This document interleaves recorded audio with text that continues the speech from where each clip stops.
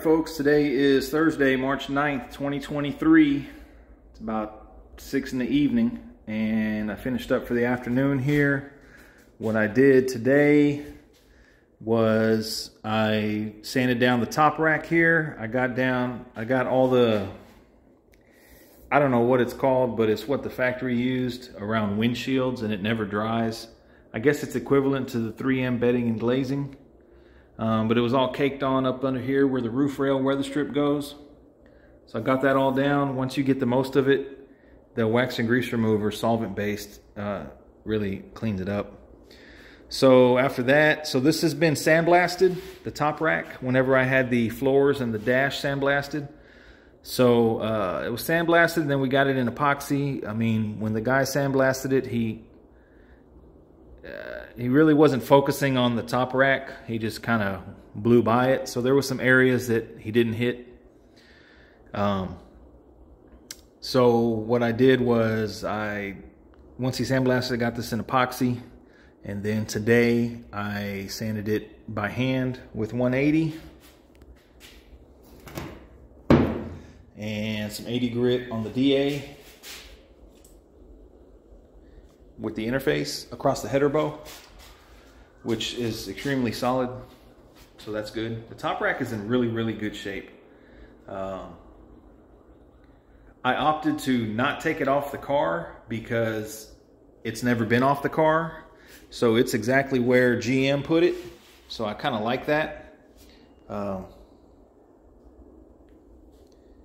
it's already set. It lined up good whenever whenever this thing was together with the latches.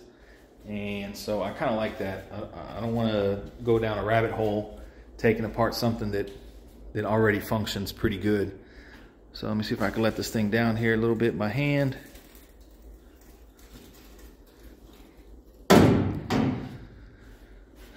So I DA'd right here, got it down to metal, DA'd the whole header bow.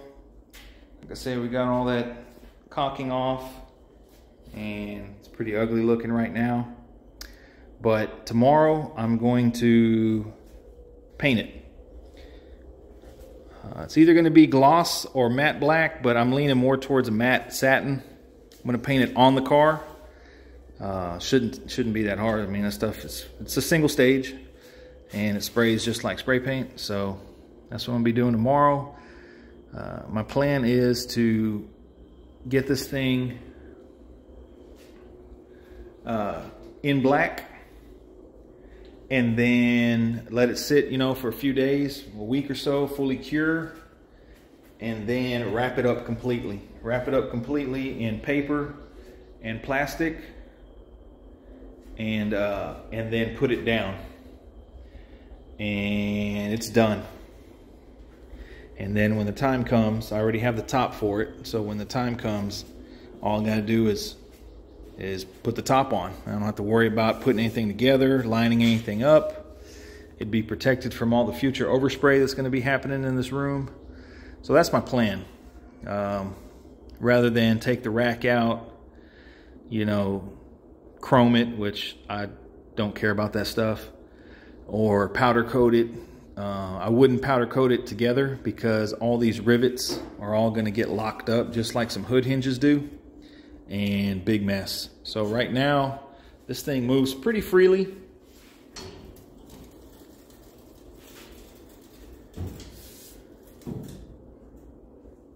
that's one hand, and I like that.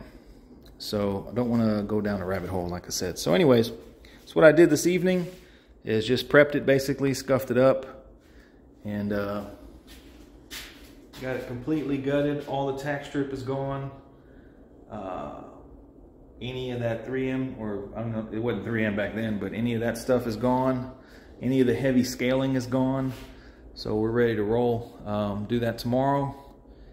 Then probably Sunday, go ahead and sand this dash down. Get that in epoxy. And once that's done, I'm gonna start on the rockers and work my way back. So anyways, bring you guys back tomorrow. Once I get to mixing and spraying, I'm going to do a little bit of masking, but not too much. Not too much. Probably mask the dash. I'm not really worried about masking over there because I'm going to Raptor line basically from the toe board all the way back. So I can mask that whenever I do that. It's a lot easier to mask the rack than it is to mask around the rack.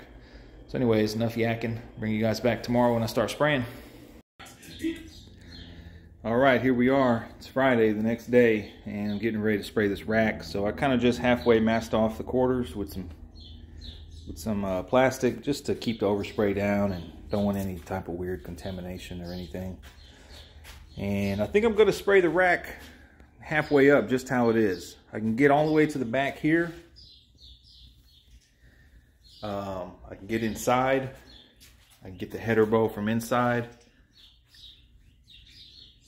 Then uh, this is real easy. Get to that real easy. And here I'll probably have to use a step stool or something to get up there, but I, I think it'll be all right. So what I'm gonna be using is I'm gonna be using this Eastwood. It's high temp ceramic engine paint. Um, it's probably not right for this application, but in my mind, it's black matte paint. Courtesy of Bobby. I'm sure he won't mind that I'm borrowing it. Um, I do remember when I sprayed the frame that it was struggling going through a 1.4 tip. And when I upped it to a 1.8, it flowed, you know, way better. Um, so it's either going to be a 1.8 or I might throw a splash of reducer in it and, and get it through a 1.4. I feel like my 1.4 is a lot more accurate than the 1.8, so I think I might just reduce it. Think two coats will do the trick. Again, it's a top rack. We don't want to overthink it. I mean, this area right here, once the weather strip is in, you're never going to see. You're never going to see across the front there when the top is installed. You're not going to see the tops of these. You're not going to see the top of this. I mean, you're going to see, you know, you're going to see that. You're going to see this when the top is up.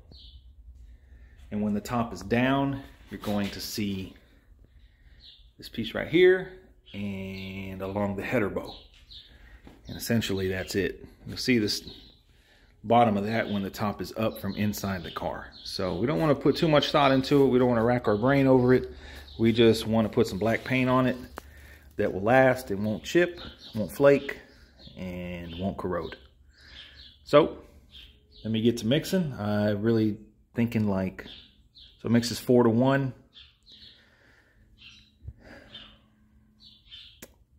Probably do something like like five ounces to start, four to one, maybe six ounces, four to one to one, or four to one to two, make seven ounces, and that's probably gonna be enough. Gonna cone the fan in so we're not wasting a bunch of material. So bring you guys back, maybe get you guys set up on the tripod while we do this. All right, here we are. It actually took a lot more paint than I thought it was gonna take. It took uh, total, I mixed up about 15 ounces to get three coats, eh, maybe 16 to get eh, two and a half, two and a half. But uh, overall, it wasn't bad. It did get a lot of overspray, surprisingly. I didn't cover the tail panel back here, but got a little bit on there. Not too bad.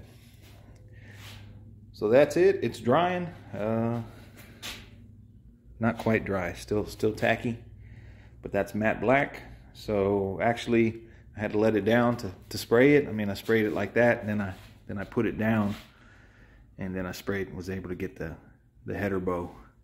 Um, so this paint actually covered 180 grit scratches relatively easy. And actually the header bow is, is, is 80 grit DA. So it's pretty thick stuff. So say it's matte, matte black. This is the area you see when the top is down. Right there, folds down. You got weather strip that goes all along here. Weather strip that goes along here. It's $500 for some weather strip. Actually, to weather strip this whole car, it's it's over a thousand dollars, which is insane.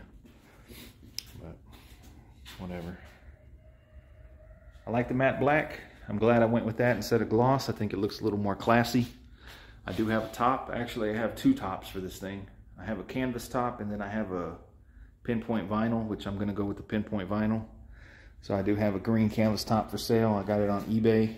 I got it listed on eBay right now. It's 5960 only. It's a forest green German uh, canvas Stayfast. Won't be using it. The vinyl actually came back in stock. Uh, I was told that the green vinyl that I now have had been discontinued from before COVID. So since like 2019 and it wasn't coming back. So I bought the green canvas uh, last year sometime. And then about two months ago, the green vinyl's back in stock. so now I'm stuck with two tops, but it'll sell eventually. So like I say, that's gonna be it for the top rack.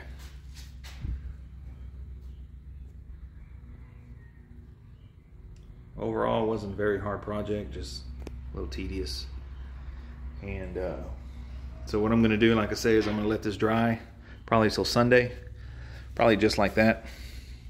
And then I'm gonna mask it up real good and put it down. It's gonna stay down until the car's painted. Moving forward I think I'm gonna go ahead and sand this dash and get this dash in epoxy to match the firewall.